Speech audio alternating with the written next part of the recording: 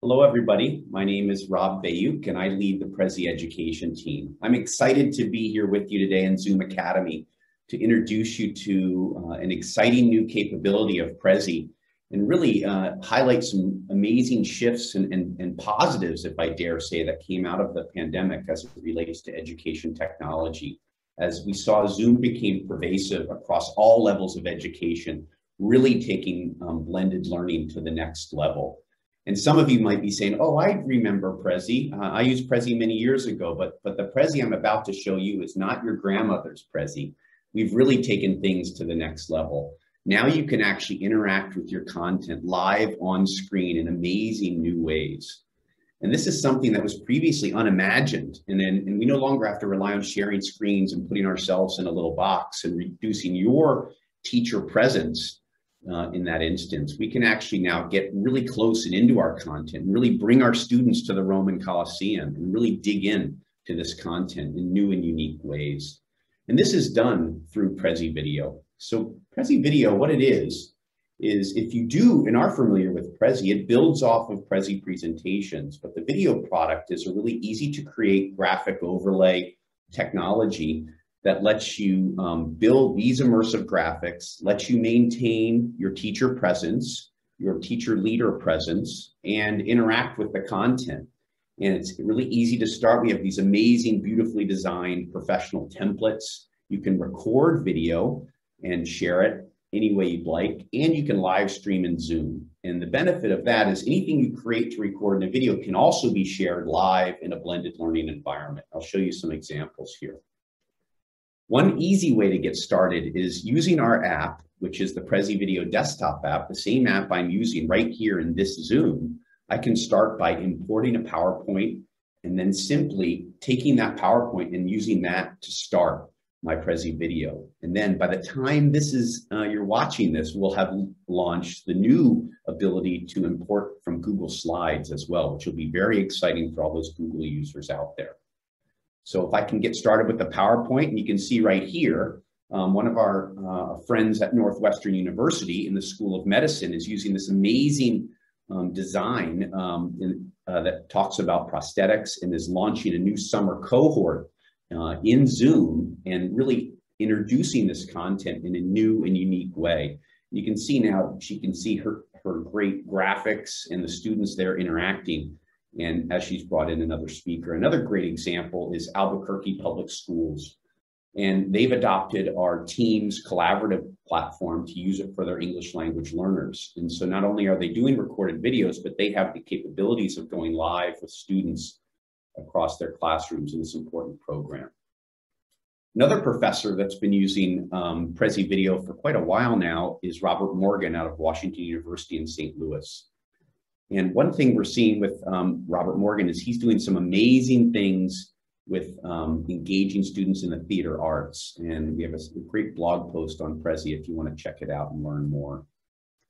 The other use case we're seeing is not only is it direct to students and the ability to engage students, but it's the ability to engage um, staff and teacher training. We're seeing training exercises, we're seeing webinars, virtual events. In this example, um, you have an educator leading a group of other educators on how to create exceptional instructional videos and what are the pedagogical models that apply to creating exceptional um, uh, videos. So it's really um, as we can interact with content, whether it's in videos or in Zoom, we can do it in these more immersive ways where, again, we're not disappearing.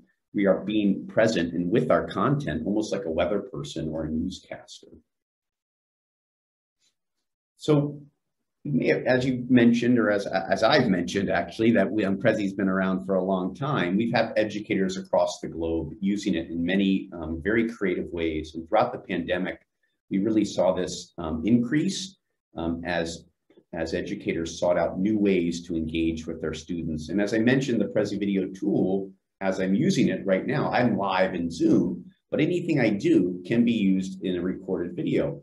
And so we've seen flipped classroom models really um, up their game um, for instructional videos, mini lectures, um, blended learning. In this example, Jamie Hewing, a teacher in the Bronx, is using Prezi Video um, for uh, read aloud storytelling for K-5. And it really is an immersive experience.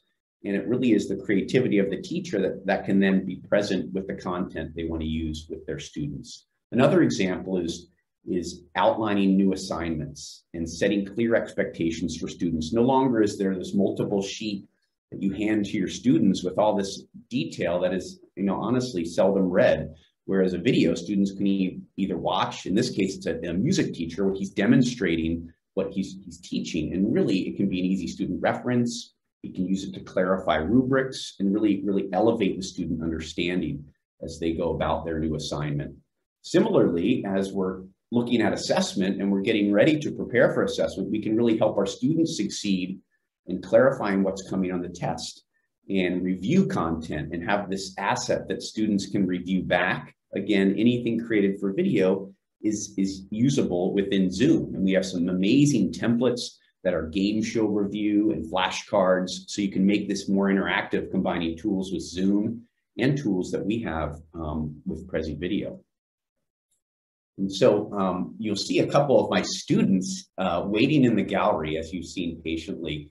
Um, student Cynthia, can you wave? And student Tracy, thank you for being here today, students, because it's, it's really exciting because we're going to talk about a brand new feature for Prezi Video and something that now your students can take advantage of. And you'll see now as we'll elevate the interactions and the reactions and feedback we can get directly from our students. So in this simple example, I'm going to ask my students, um, what's your favorite animal and why? And now you'll see as they think about this, oh, wow, Tracy has created the giraffe, she says, and she's typed in that using a live Prezi video uh, live editing capability. And then you see Cynthia, a cat fan, and I knew she was a cat fan. That's why I chose this little kitty in the uh, in, in the pillow. And so now I, I can see what my students are, are, are thinking. I can ask for their feelings. I can ask, ask for elevated reactions. And now we can just see where, where educators, I'm excited to see where educators will take this moving forward. And as I go back, I could now dive in deeper to Prezi Video, and I want to now share my screen within Prezi Video. And this is something a little different than how you share your screen in Zoom. So now what I'm showing is you'll see in Google Earth, I'm actually in a browser window, and now I can pop around Africa, I can spin the globe, and if I want to dive into the savannah and start talking about cheetahs, I can dive in just like I would in a browser. So this ability to share my screen in this unique way without putting me away or off to the side, I'm keeping the students focused, I'm keeping them engaged, and I'm able to dig into content in, in a really unique way with Prezi Video. Now I've actually dropped myself into the Prezi Video Editor, which is a little meta because um, I'm, I'm live in Prezi Video, but what you're seeing here is the tool that you would ultimately use to create your next Prezi video. So easy to drag and drop to get started. You can grab from your OneDrive, your Google Drive, or as I've said, a PowerPoint or a Google slide and get started. And then once you've created that, you can simply go live in Zoom and you can do what you're seeing here and interact with your content. It's quite easy to get started. Lastly, I just wanted to wrap up um, with the fact that um, Prezi's done a lot of work, a lot of engineering work to integrate deeply with the Google Education Suite. It's pervasive in K-12 and certainly um, in higher ed as well. And, and as a partner, we've done deep integration with Google Classroom it's very easy to make a Prezi video an assignment or share it as an announcement. We have an integration with Google Drive where you can actually get a, an app and you can create a Prezi video and share it directly from within your Google Drive.